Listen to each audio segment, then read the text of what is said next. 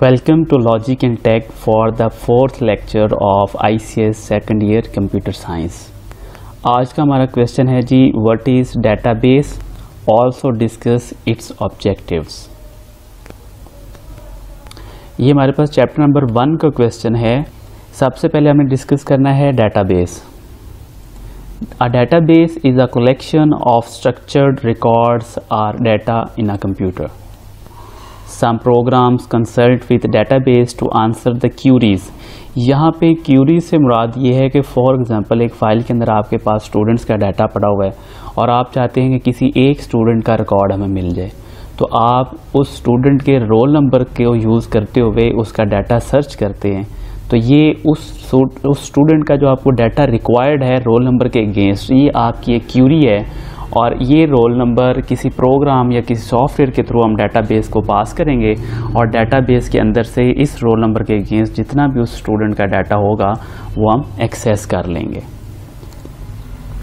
Record or data retrieved in response of these queries become information बिल्कुल ऐसे ही है कि अगर हमने जब रोल नंबर पास करना है और उस रोल नंबर के थ्रू डाटाबेस के अंदर से किसी एक स्टूडेंट का रिकॉर्ड हम सर्च करके ले आते हैं तो पहले हमारे पास वो सिर्फ़ एक रोल नंबर था, लेकिन अब उस रोल नंबर के साथ हमें स्टूडेंट का नेम भी पता चल गया है। उसका ये भी पता चल गया है कि उसने कौन कौन से सब्जेक्ट्स पढ़े हैं, उसका रिज़ल्ट क्या है, किस सब्जेक्ट के अंदर कितने मार्क्स हैं, कितनी परसेंटेज है तो ये हमें सारी इन्फॉर्मेशन मिल गई है।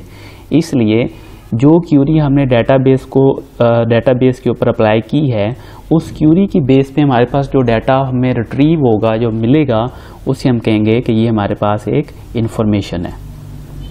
This information helps us to make decisions so database is a collection of related records data sets and fields sorry software to manipulate the database is called database management system ji.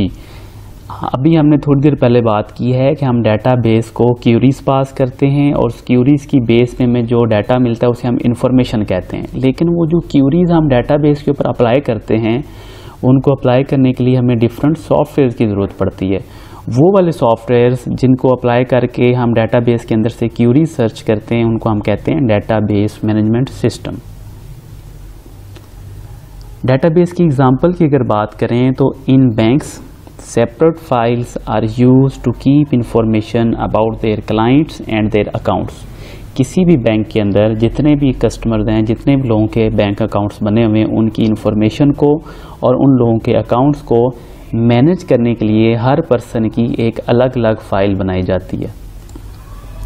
This information belongs to the followings clients की information हो सकती है उन files के अंदर accounts की information हो सकती है। उस पर्सन ने जिसका अकाउंट है, उसने अपने अकाउंट से क्या क्या ट्रांजैक्शंस की हैं, कितने पैसे निकलवाए हैं, कब निकलवाए हैं, वो डिटेल हो सकती है। और उसके साथ साथ हमारे पास एक और डिटेल है लोन डिटेल कि एक बंदे ने बैंक के अंदर अकाउंट खोला है और उसके पास पचास हज़ार है और उसने दस हज़ार उस बैंक से लोन ले लिया तो उसके लोन की डिटेल भी उसकी एक फ़ाइल के अंदर मेंटेन की होगी।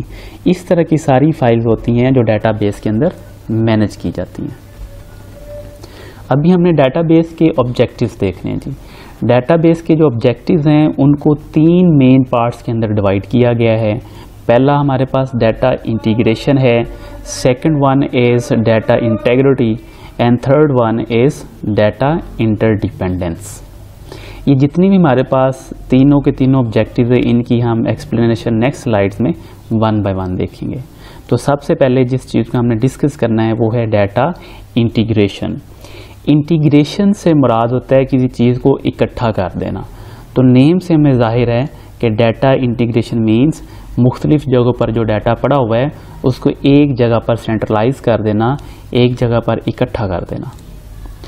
It is the process of combining data stored at different place or storage device and providing unified view of this data to the users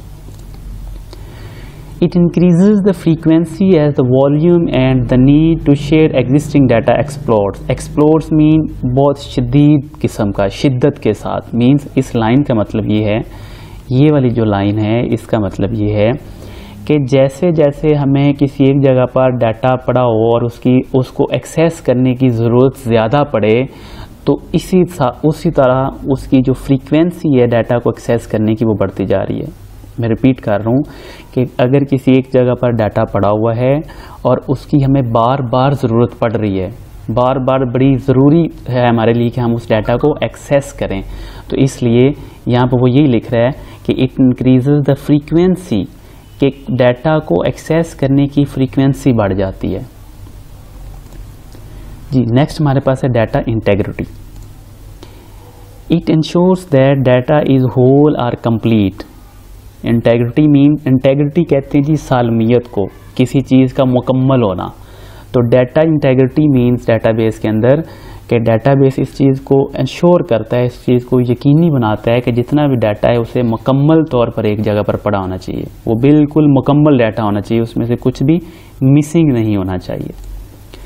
Data is maintained as single copy to be more consistent it ensures that data can be accessed and altered by authorized persons data integrity ही इस चीज़ को शोर करती है कि जो जिस बंदे को डाटा को एक्सेस करने की या अपडेट करने की इजाज़त है, वही डाटा तक पहुँच सकता है। Data integrity refers to the accuracy and consistency of the data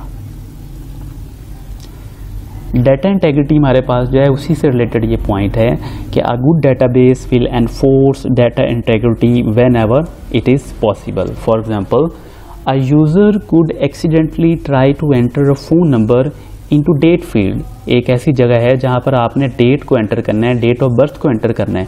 लेकिन गलती से आप वहाँ पे फ़ोन नंबर एंटर करना स्टार्ट कर सक, कर देते हैं। लेकिन डाटाबेस जो है वो इस चीज़ को एनफोर्स करती है। If the system enforce data integrity it will prevent the user from making these mistakes next हमारे पास है जी डाटा इंडिपेंडेंस ये हमारे पास तीसरा ऑब्जेक्टिव है डाटाबेस का। इसके हमारे हमने दो ही पॉइंट्स डिस्कस करने हैं, बड़ा शॉर्ट सा ये टॉपिक है। Database allows the organisation to change the data without the need to develop a program again for example एक इन्फो एक ऑर्गेनाइजेशन है या अदारा है, उसने अपना डाटा किसी फ़ाइल के अंदर या डाटाबेस के अंदर स्टोर किया हुआ है। इन फ्यूचर उस ऑर्गेनाइजेशन को ये ज़रूरत पड़ती है कि वो अपने डाटा को चेंज करे। तो क्या डाटा को चेंज करने के लिए उसे एक नए सॉफ्टवेयर की ज़रूरत पड़ेगी? नहीं. डाटाबेस इस चीज़ को यकीनी बनाती है कि हमारे पास जो सॉफ्टवेयर पहले से ऑलरेडी यूज़ हो चुका है, उसी सॉफ्टवेयर को यूज़ करते हुए हम डाटा को अगेन चेंज कर सकें. इसलिए उन्होंने यहाँ पे दोबारा लिखा है database allows the organisation to change the data without the need to develop program again last point है जी इट अलाउस इट्स यहाँ पे इट का मतलब है data independence data independence allows programs to be modified without reorganisation of data data को भी दोबारा ऑर्गेनाइज करने की ज़रूरत नहीं पड़ती, सिर्फ़ आपने अपना डाटा चेंज करना है और आपका जो डाटा है, उस डाटा बेस के अंदर ऑटोमेटिकली खुद ब खुद ऑर्गेनाइज हो जाएगा, जैसे हमने उसको पहले ऑर्गेनाइज किया हुआ था। ये जी हमारा आज का लेक्चर था। अगर किसी को कोई प्रॉब्लम आती है, किसी पॉइंट की समझ नहीं आती तो वो प्लीज़ कमेंट सेक्शन में कांटेक्ट करें। अपनी क्यूरीज़ वहाँ पे बताएँ मुझे। मैं अपनी फुल कोशिश करूँगा कि मैं आप लोगों को सेटिस्फाई कर सकूँ। Thank you very much for watching stay connected for further lectures